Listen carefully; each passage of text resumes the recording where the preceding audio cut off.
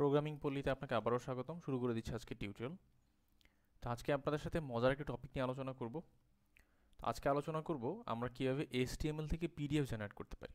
So normally আমরা HTML থেকে যখন পিডিএফ জেনারেট করতে হয়, আমরা নর্মালি গুগলে লিখি HTML to PDF converter free converter right then কি অনেকগুলো কনভার্টার আসে, সেখানে গিয়ে আমরা কনভার্ট করি। সো কিছু ফ্রি আসে, আবার কিছু প্রবলেম ফেস করতে হয়। সো যাই হোক অ্যাজ এ আমি ডেভেলপার হিসেবে আমি আপনাদেরকে দেখাবো আজকে আমরা এমন একটা টুল এমন একটা সলিউশন ডেভেলপ করার জন্য যেইটা ইউজ করে আমি নিজেই আমার কাজটা করে ফেলতে পারব।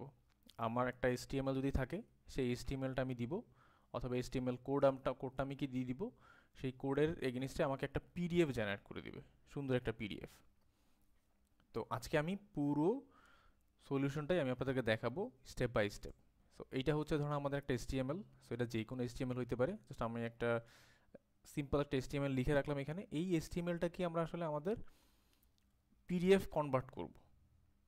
আচ্ছা তো কীভাবে সেটা করতে হয়? চলেন আমরা শুরু করে দিই। এইখানে আমার একটা প্রজেক্ট আছে। জাস্ট আমি এখানে. ডট নেট কোরের একটা কনসোল অ্যাপ্লিকেশন নিলাম। আমাদের মেইন ফোকাস হচ্ছে আসলে উইন্ডোজ অ্যাপ্লিকেশন বা কনসোল অ্যাপ্লিকেশন শেখা, ব্যাপারটা এরকম না। সো আমরা একটা কনসোল অ্যাপ্লিকেশন দিয়ে আমরা একটা এসটিএমএলকে কীভাবে খুব কুইকলি পিডিএফ জেনারেট করতে পারি? আপনারা যদি এটা শিখে ফেলেন, তো আপনি এবার ওয়েব অ্যাপ্লিকেশনেও আপনি সেটা করতে পারবেন, অথবা ডেস্কটপ অ্যাপ্লিকেশনেও করতে পারবেন। বাট আমি আপনাদেরকে দেখাচ্ছি জাস্ট সিম্পলি কনসোল অ্যাপ্লিকেশনের জন্য। সো কুইকলি দেখানোর জন্য আমি কনসোল অ্যাপ্লিকেশন চুজ করলাম। ওকে তো এখানে জাস্ট সিম্পল একটা কনসোল অ্যাপ্লিকেশন নিচ্ছি আমি ক্রিয়েট কনসোল অ্যাপ্লিকেশন ক্রিয়েট করা, যেটা অলরেডি আপনাদের সাথে শেয়ার করা থাকবে পাবলিকলি আপনি আমাদের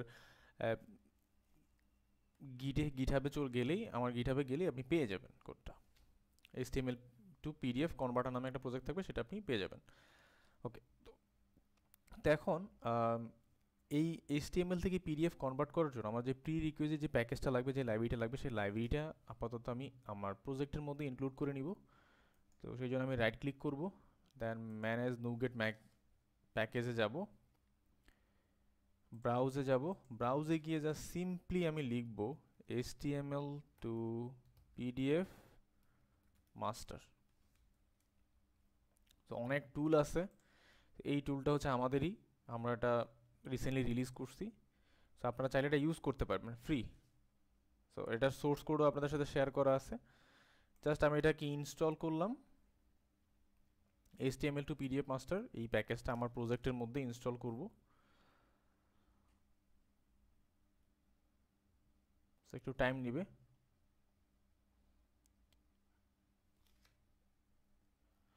তো এখানে একটা কনফার্মেশন চাইবে। আমি কনফার্মেশনটা ওকে করে দিলাম।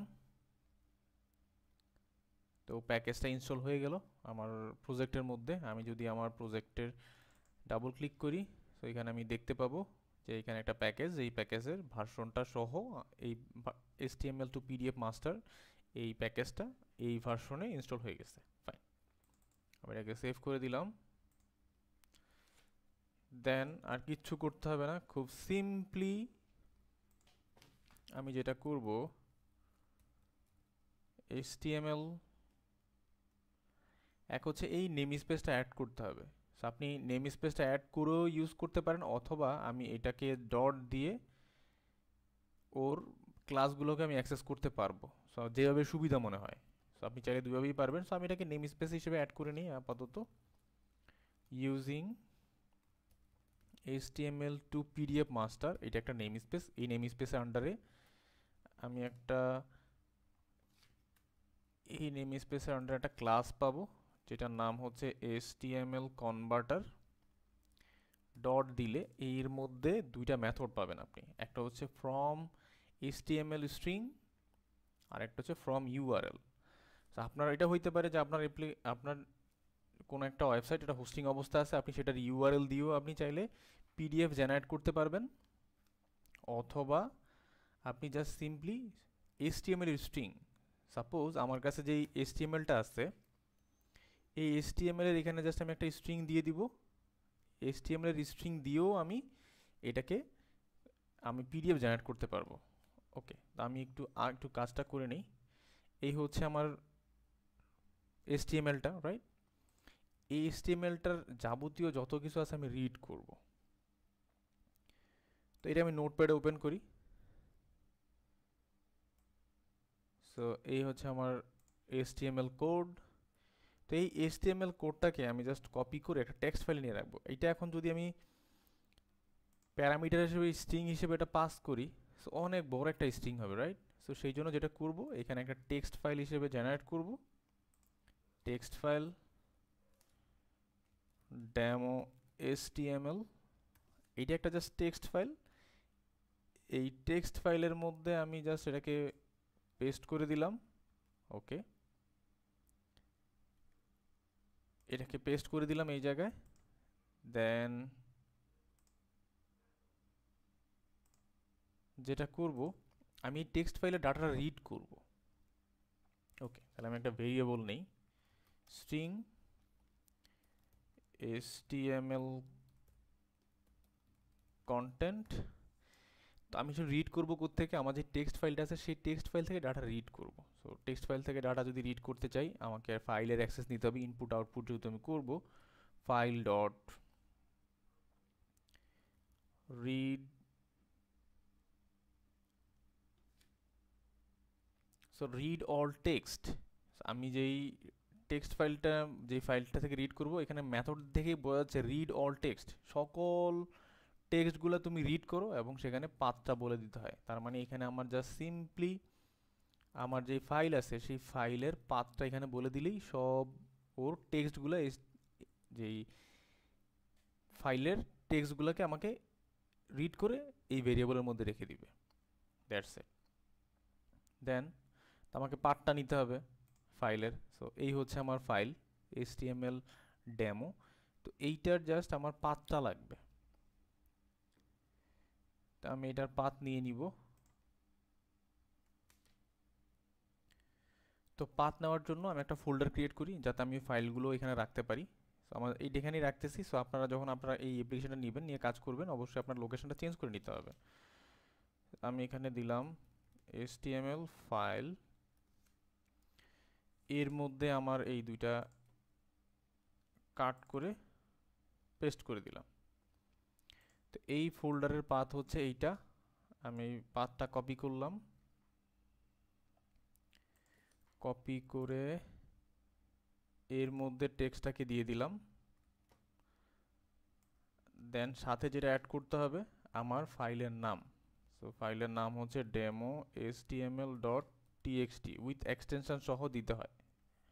যদি আপনি ফাইলের ডাটা রিড করতে চান, ফাইলের এক্সটেনশন সহ দিয়ে দিতে হয়। সো আমি এটাকে ড্যামো এসটিএমএল টেক্সট আমার ফাইলের নাম সহ দিয়ে দিলাম। দ্যাটস এ তার মানে হচ্ছে এতটুকুর জন্য আমার সকল এসটিএমএলগুলো লোড হয়ে যাবে। টেক্সটগুলো আমি রিড করে ফেলব।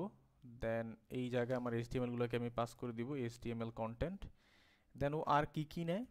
এই মেথডটা আরও অনেক কিছু নেয়, যেটা হচ্ছে আপনি যেই পেজটা জেনারেট করবেন, সেই পেজটার উইথ কত নিতে চান হাইট কত কত দিবেন, সেটা আপনার বলে দিতে হয়, সেটা আমরা বলে দিব। Then margin left zero by default আপনি যদি বাকিগুলো না দেন বাই ডিফল্ট হচ্ছে চারোপাশেই মার্জিন জিরো হিসেবে ট্রিট করবে। আর যদি আপনি স্পেসিফিক কোথাও মার্জিন দিতে চান, তাহলে আপনি মার্জিনের ভ্যালুগুলো দিয়ে দিবেন, যে আপনি লেফটে মার্জিন কত চান, কত পিকজেল রাইটে কত এরকম করে আপনি ভ্যালুগুলো দিয়ে দিতে হবে। ক্লিয়ার তো প্রথমত আমাকে দুইটা জিনিস লাগবে, একটা হচ্ছে হাইট আর উইট আমরা এই হাইট এবং উইট দিয়েই কাজটা করব। তো এখানে আমি উইট একটা ভ্যালু দিয়ে দিচ্ছি। ধরেন আমি এখানে যাচ্ছি দুইশো বিশ এবং হাইট যাচ্ছি থ্রি থ্রি ফাইভ আর বাই ডিফল্ট যত আছে মার্জিন লেফট সব জিরো জিরো হোক সেটা আমি বলে দিলাম। দেন এই যে মেথড এই মেথডটা আমাকে যেটা রিটার্ন করবে সেটা হচ্ছে একটা বাইট ফর্মেট ডাটা রিটার্ন করবে। তো আমি এখানে একটা জাস্ট সিম্পলি ভেরিয়েবল লিখি। var পিডিএফ ফাইল তো এখানে আমি একটা বাইট ফরম্যাটের ডাটা পাবো। এই বাইট ফরম্যাট ডাটাটা আমাকে সেভ করতে হবে। তো আমি এই ডাটাটা আমি সেভ করব। তো সেভ করার জন্য যেটা করতে হবে আমি ফাইলটাকে রাইট করব। File dot write write all bytes তো আপনি বাইট ফরম্যাট থেকে যে ফাইলটা আছে সেটা অ্যাজ এ বাইট ফরম্যাটটাকে একদম ফাইল হিসেবে আপনি রাইট করবেন। দেন হচ্ছে আপনাকে যেটা করতে হবে, আপনাকে ফাইলের নামটা দিতে হবে। আপনি যেই ফাইল হিসেবে রাইট করতে চান সেই ফাইলের নাম অ্যান্ড হচ্ছে বাইট ফরম্যাট প্রথমত হচ্ছে আপনাকে নামটা দিতে হবে। উইথ লোকেশান সহ, আপনার ফোল্ডার লোকেশন আর সাথে হচ্ছে বাইট ফরম্যাট সো এইটা যেহেতু বাইট ফরম্যাট এটা তো আমরা বাইট ফরম্যাট পেয়ে যাচ্ছি। সো আমি এখানে দিচ্ছি পিডিএফ ফাইল এটা একটা বাইট ফরম্যাট এখন এই জায়গাটাতে আমার যেটা লাগবে, একটা ফাইলের নাম এবং সাথে হচ্ছে ফোল্ডার লোকেশন তো, যেটা করব আমি, আমার এই ফোল্ডার লোকেশনটা আমি নিয়ে নিব। এটা হচ্ছে আমার ফোল্ডার লোকেশন তো এখানে একটা ফাইলের নাম বানায় নিই আমি। স্ট্রিং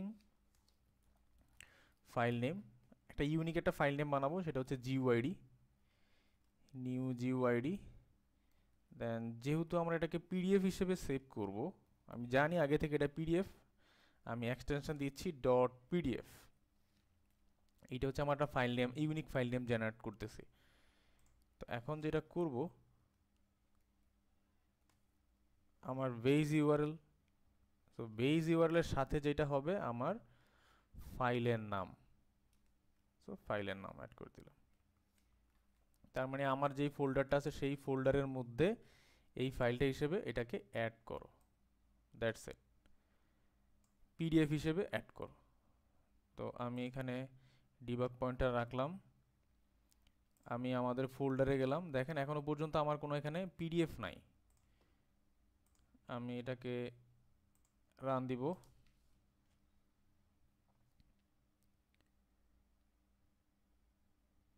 সো এটা ডিবাগ পয়েন্টার আটকালো, আমি জাস্ট সিম্পলি কন্টিনিউ করে দিব। অলরেডি এটা রান হয়ে গেল। আমি একটু ফোল্ডারটা ওপেন করব ফোল্ডারে চলে আসলাম। সো এখানে দেখেন একটা জিওআইডি দিয়ে আমার একটা পিডিএফ ফাইল জেনারেট করে দিয়েছে। আমি যদি এটা সিম্পলি ওপেন করি সো পিডিএফটা দেখতে পাবো। সো আমার এইচটিএমএলটাকে সে একটা পিডিএফ জেনারেট করে দিয়েছে খুব কুইকলি ওয়াও যেটা দেখতে আমার একদম এইটার মতো। নাইস এখন থেকে যারা. ডটনেট পারেন ডটনেট শিখেন। অনলাইন থেকে কনভার্টার করার দরকার নাই। আপনি নিজেই একটা টুল বানিয়ে নেবেন, যেটা থেকে আপনি নিজেই এরকম করে কনভার্ট করে নিতে পারেন। ফাইন তো দুইটাই সেম দেখেন, এইটা হচ্ছে আমাদের এইচটিএমএল এটা হচ্ছে আমাদের পিডিএফ তো কোনো চেঞ্জ নাই, এখানে যা আছে সেম হুবহু। আচ্ছা তো আমরা এখন দেখলাম যেটা হচ্ছে আমাদের একটা ইউআরএল আছে সরি আমাদের এইচটিএমএল আছে, যে এইচটিএমএল কন্টেন্ট থেকে, একটা স্ট্রিং কন্টেন্ট থেকে আমি কীভাবে এটাকে পিডিএফ জেনারেট করতে পারি, তাই তো?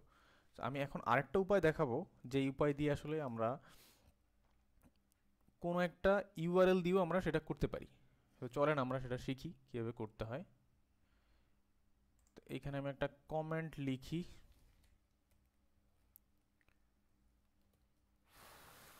ফর html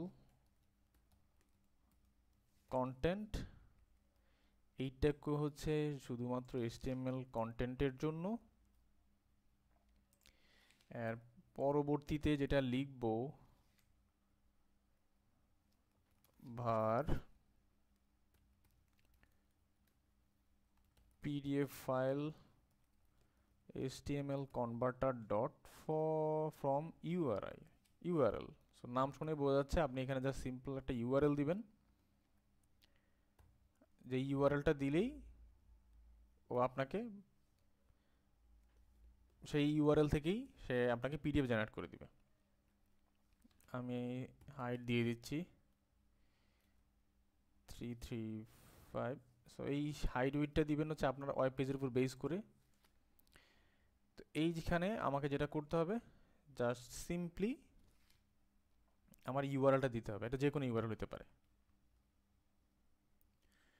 তো ইউআরএলটা যে দিবেন, এই ইউআরএলটা হইতে পারে আপনার লোকাল কোনো এসটিএমএল ফাইল অথবা আপনি হোস্টেড অবস্থাও সেটা করতে পারেন। তা আমি এক এক করে দেখাচ্ছি।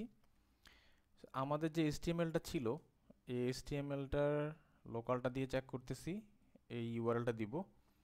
তা আমাদের যে লোকাল ফাইলটা ছিল, সেটার নাম ছিল index dot H T M L index dot H T M L আমি যদি একটু খেয়াল করি। আমি এইখানে H T M L file এটা হচ্ছে index H T M L আমার এখনও পর্যন্ত আমার এই ফোল্ডারে একটাই পিডিএফ তা আমি এখন অ্যাপ্লিকেশনটা রান দিব। এটা হচ্ছে আমার লোকাল এসটিএমএল ফাইল থেকে পিডিএফ জেনারেট করবে। সো রান হয়ে গেল। আমি একটু ফোল্ডারটা দেখব। ফোল্ডারে আসলাম। দেখেন এই মাত্রই একটা পিডিএফ জেনারেট করল। সেম একই জিনিস আপনি টেক্সট ফাইল থেকেও করতে পারেন, অথবা যদি লোকাল পিসিতে থাকে, সেই পিসির এইচটিএমএল ফাইল দিয়েও আপনি চাইলে সেটা জেনারেট করতে পারবেন। এখন আমি আপনাদেরকে দেখাবো নট অনলি লোকাল আপনি চাইলে সাপোজ ধরেন আমি এখানে W three schools so W three স্কুলসের simple just ওর ইউআরএলটা আমি নিলাম।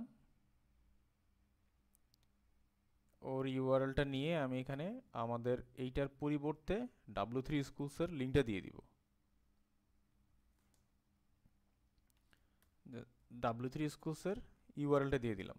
বাট এই যে ইউআরএলটা দিবেন, সেই ইউআরএলটা ভ্যালিড হইতে হবে। আমি এটাকে রান দিলাম।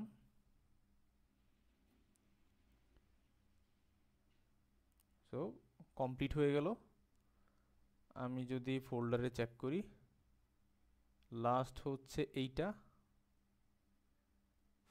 দেখেন, একদম আমার ডাব্লিউ থ্রি স্কুলসের যেই পেজটাকে আমি দিলাম, সেই পেজটা সে পিডিএফ করে আমাকে দিয়ে দিস নাইস